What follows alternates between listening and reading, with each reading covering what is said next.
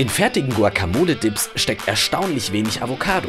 Da freut sich wieder der Zulieferer der Ersatzstoffe. Da werden die Säcke wieder auf die Laderampe geworfen. Lege packt aus und baut die Nacho-Dips nach.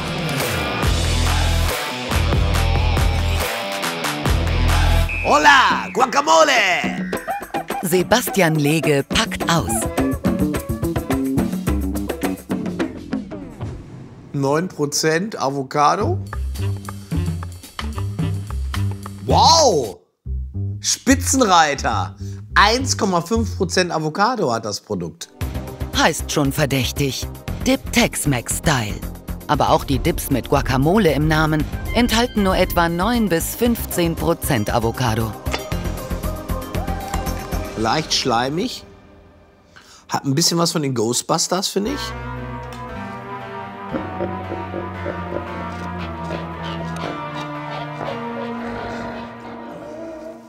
Boah, das ist wirklich hart. Das schmeckt wie gefärbte Mayonnaise. Drin stecken viele ungewöhnliche Zutaten. Oh, schön. Da freut sich wieder der Zulieferer der Ersatzstoffe. Da werden die Säcke wieder auf die Laderampe geworfen. Verbesserte Rezeptur. Ich will nicht wissen, wie die davor geschmeckt hat. Falls Sie noch nie wussten, wie eine Avocado aussieht, genau so. Nicht. Seltsame Farbe, interessanter Geschmack. Warum ist das alles so sauer? Auch die Konsistenz unterscheidet sich deutlich von frischer Guacamole.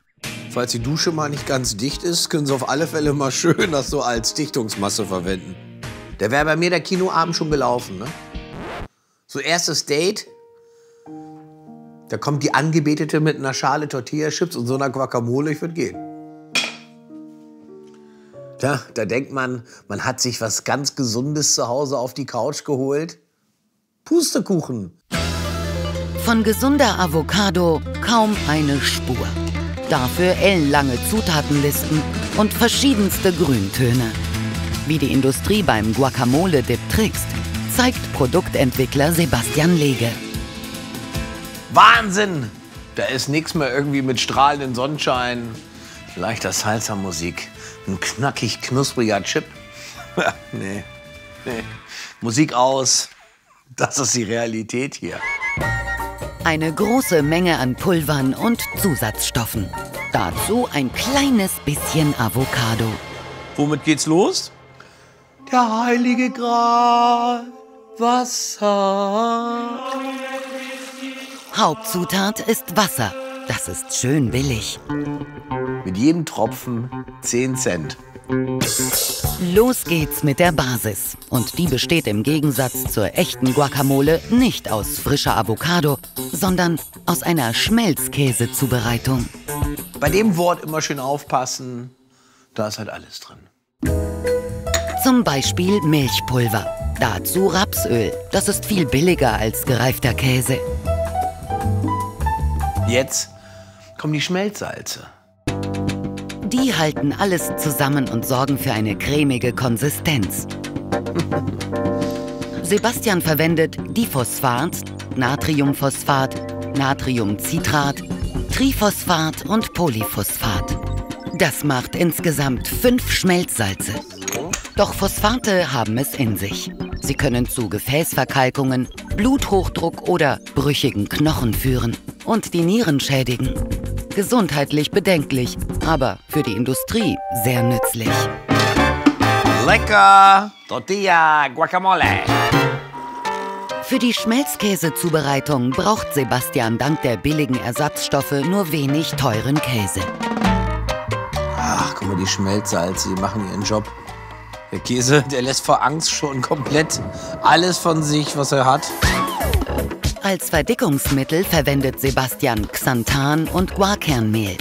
Modifizierte Stärke sorgt für Cremigkeit. Dazu kommen zwei Zuckerstoffe. Maltodextrin ist ein beliebter Füllstoff. Dextrose sorgt für Stabilisierung und Haltbarkeit. Jetzt fehlt vor allem eins, der richtige Geschmack. Dafür nutzt Sebastian Kokosfett. Und weitere Pülverchen. Zwiebel, Paprika und Tomate.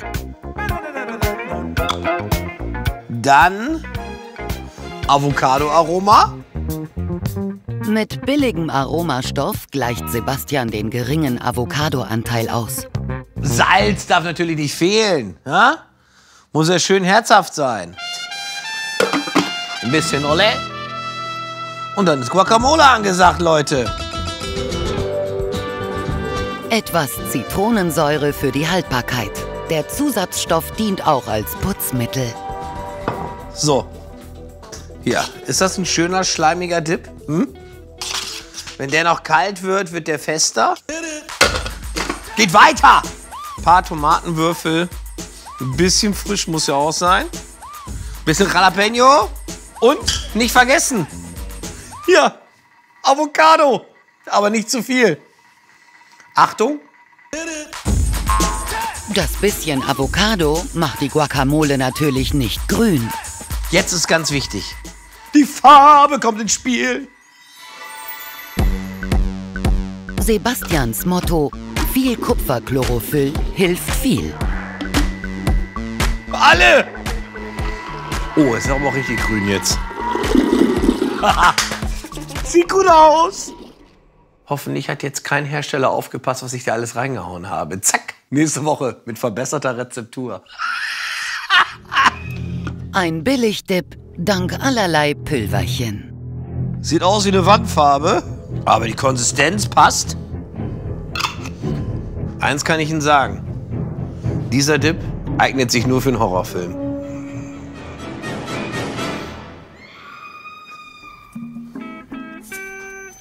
Schmeckt es denn?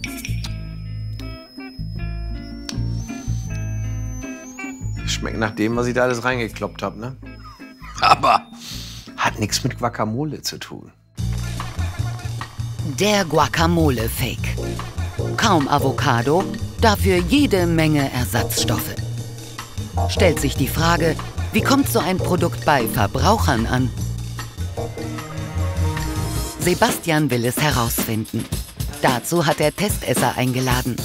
Sie verkosten den Fuego Guacamole Dip mit 9% Avocado.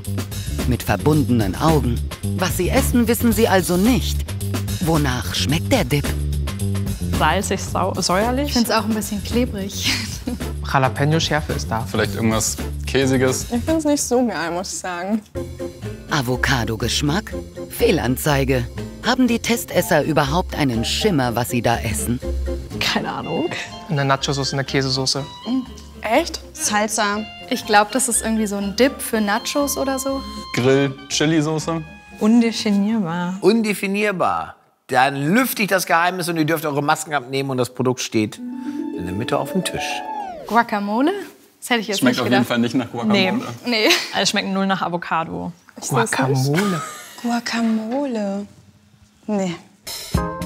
Das Fazit der Tester ist eindeutig. Ich finde es nicht lecker. Ich finde es sehr künstlich auch. Gar nicht so nach Avocado. Ich schmecke die Avocado nicht so raus. Nach Avocado schmecken die Industriedips nicht unbedingt. Da helfen auch eine verbesserte Rezeptur, Aromen und Farbstoffe nicht. Dann lieber eine selbstgemachte Guacamole mit echter Avocado. Die schmeckt besser, ist gesünder und kostet etwa gleich viel. Eine Guacamole. Ratzfatz gemacht. Los geht's mit frischer Avocado. Bisschen Koriander, darf natürlich nicht fehlen. Den schön zusammenknüllen. Salz, Pfeffer, Zitrönchen oder Limette ist vollkommen egal. Hauptsache Säure, sonst oxidiert das. Dazu Olivenöl und rote Zwiebeln und alles zerquetschen. Das ist jetzt richtig lecker. So sieht echte Guacamole aus. Boah. Mmh. Jetzt kommt Salsa hier rein, ne? Ah, Ach, jetzt sehe ich mich da schon mit so einer Caipirinha in der Hand. Für diese Guacamole haben die Avocados einen weiten Weg zurückgelegt. Nach Mexiko ist die Dominikanische Republik der zweitgrößte Avocado-Produzent weltweit. Die Bäume brauchen viel Wasser. Der Vorteil, hier regnet es viel. Die Avocados werden unreif geerntet. Mit dem Kühlschiff brauchen sie drei Wochen bis nach Europa. Damit sie trotzdem reif sind, gibt es einen Trick.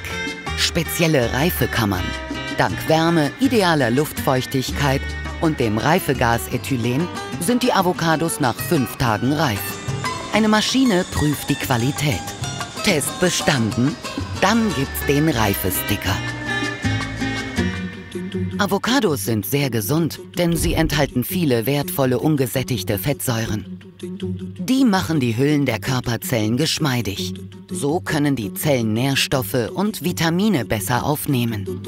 Das Praktische, die Avocado bringt viele gute Inhaltsstoffe gleich mit. Wenn euch das Video gefallen hat und ihr sagt, ich will noch mehr vom ZDF Besseresser sehen, dann einfach hier klicken, da gibt es mehr Videos von uns und wenn ihr uns abonniert, genau hier, würde ich mich richtig freuen.